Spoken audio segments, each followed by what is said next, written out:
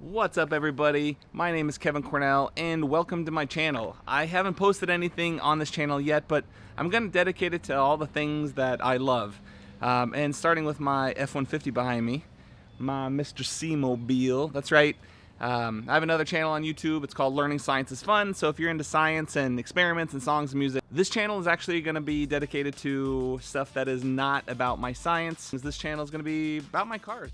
First things first, 2018 F-150 2.7 liter. Love this truck. I've already done a couple things to it. I've added the auto stop so that it doesn't shut off at the stoplights. That drove me crazy. And I took some video of when I installed it, so I'll upload that at another time. I also have my Diamondback SD tonneau cover. It is the best investment I have made for my truck so far. It's the best and it is just heavy duty. You just name it, it, it, just does what it needs to do. And it really protects the inside of my, my bed, and actually it has a little bit of security built in as well. So I love that tonneau cover. It is just something awesome. And I took some footage, and I'll put a video together for those of you who are interested in seeing a review and what that's about. But the video for today is actually a little bit different we are going to install my K&N cold air intake system for my 2.7 liter F-150. I'm so pumped. This is going to be hopefully a nice little upgrade to give me a little bit more of a boost performance-wise and maybe even some better gas mileage to get it breathing a little bit better. So let's get to it. Let's pop the hood and let's see what we're into.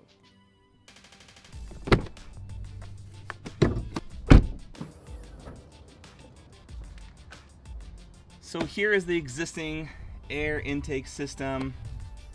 A couple of bolts. Should pop right off. Be able to install everything easily. And uh, let's do it. By no means am I, you know, a top mechanic, but I do some handy stuff. Oh no, it's gonna rain. If it rains, this project's gonna get cut short. I do a lot of work on my cars. It's fun to work on my cars. I enjoy it, and uh, let's get at it. So before I get started, I'm actually going to keep the recording on continuous and I'll edit it afterwards. I want to see exactly how long this takes for an average mechanic, someone who is a hobbyist, someone who just wants to put this together. Um, everybody says online it takes between 30 and 60 minutes, so we're going to put that to the test and see what happens. Here we're going to remove these clips.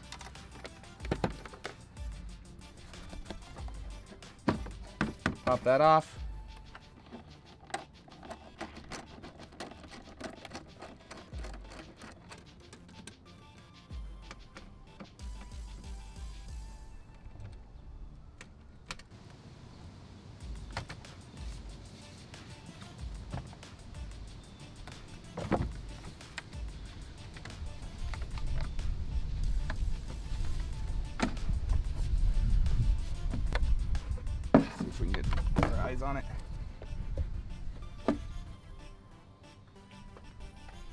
So here for the sensor, it's taped up all goofy, but you just squeeze in and it pops off. So this is the sensor we're gonna reuse and it just takes a little bit of a turn, not quite a quarter turn, and it just pulls out nicely. And there we have it. We're gonna reuse that in the K&N and we'll talk about that in just a second. Take out the air filter. That is what an air filter looks like after 10,000 miles. I just had the oil change done. So this truck is getting its work done. I did 10,000 10,000 miles in six months, which is pretty unique for me. I've never driven that much, but with my work, traveling around, I'm putting a lot of miles on this. So here we have it. Super simple to take apart. You know, maybe five, 10 minutes, if that. So let's unbox this kit and uh, let's put this thing together. Sort of rubber gasket. Gaskets, plural. Rubber seal.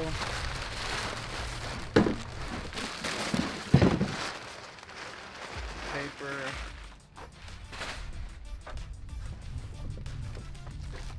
Looks like my air cleaner box My new hose, clamps,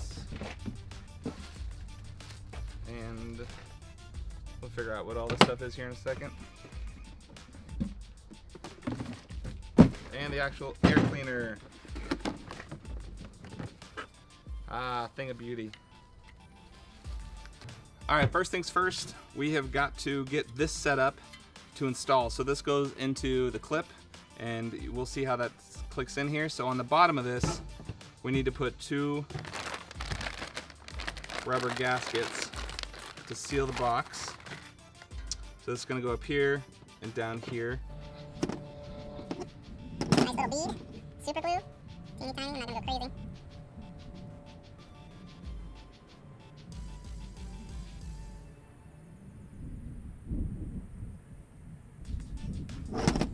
Lock this back on. Centered. Boom, it's already glued on there. Do that twice. So we got that super glued on the bottom there. And we have it over here as well. These should be cut nine and a half inches. Nine and a half inches. The tube is 19 inches total, and then just split it in half. So on this next part, you flip it over. And I've seen it done two different ways. People run it around all the way around. I'm actually going to measure the top and the bottom, and then we're gonna cut it that length, and then we're gonna run it over and cut it. So we'll, I'll show you what we're doing.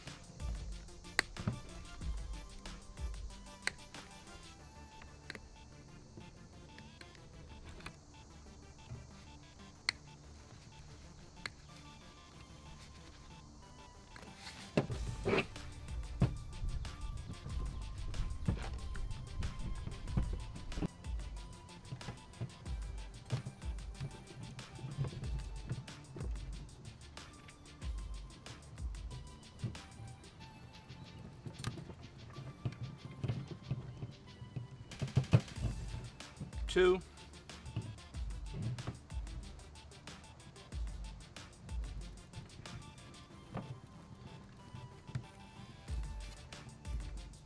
I'm just gonna run this down right here and I'm gonna cut it off when I get up here and I'm gonna use the leftover piece and put it on top of this.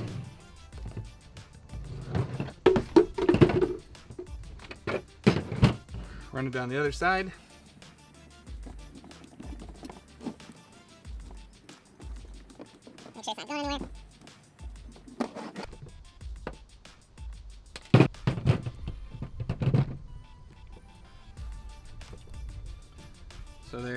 Top of the box.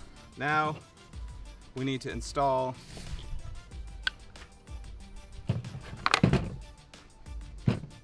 our grip. All right, so I had to move spots. It started raining. I had to pick everything up really quick. But now we're gonna finish this bad boy up. All right, so there were two bolts. There were two screws that went into that. Super simple. Screwed them in. And now we're going to gonna add our filter to this. We're gonna bring it in from the bottom. It fits better that way. There we go. And we're gonna turn this so that we can easily crank it down. So we're gonna crank this down. I'm gonna recommend you do it from the top so that you can get access to it again later.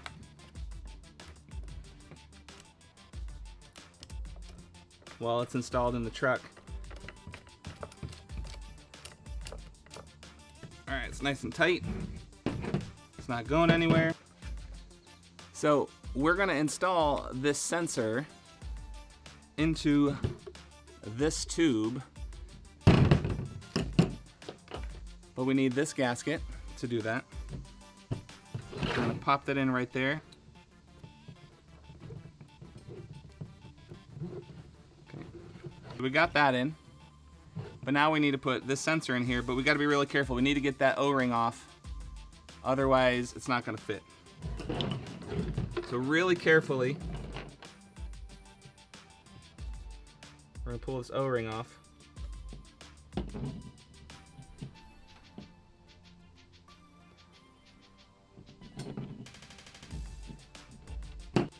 Just like that, it's off. And now we're going to pop this in.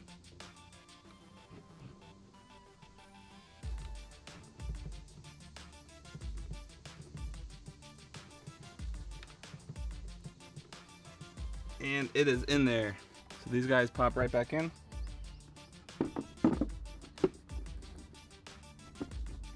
That's one. Two. All right, that is in there snug as a bug.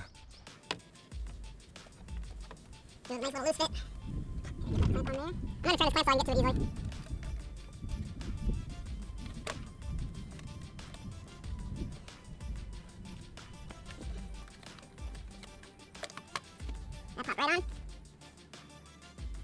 And then this guy. Oops, need my clamp.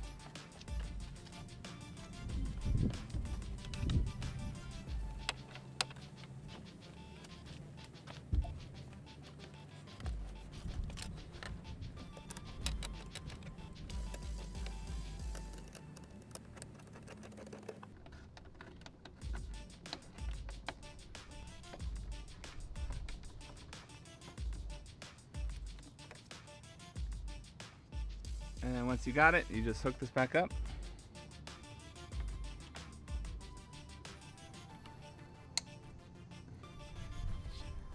There you have it.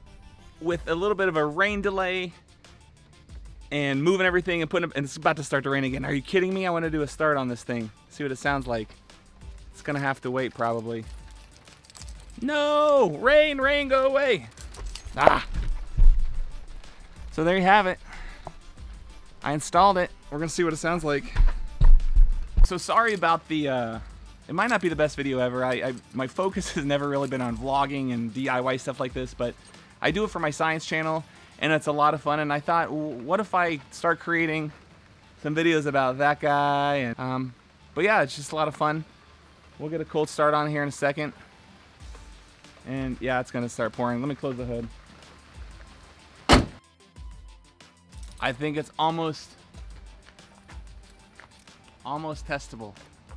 All right, let's try it. If it gets a little wet, it'll be all right. Ford, you need to teach us how to open up your hood latches. It's insane. Maybe I just don't know what I'm doing, but I can never figure out how to open it. Anyway. All right, the moment of truth.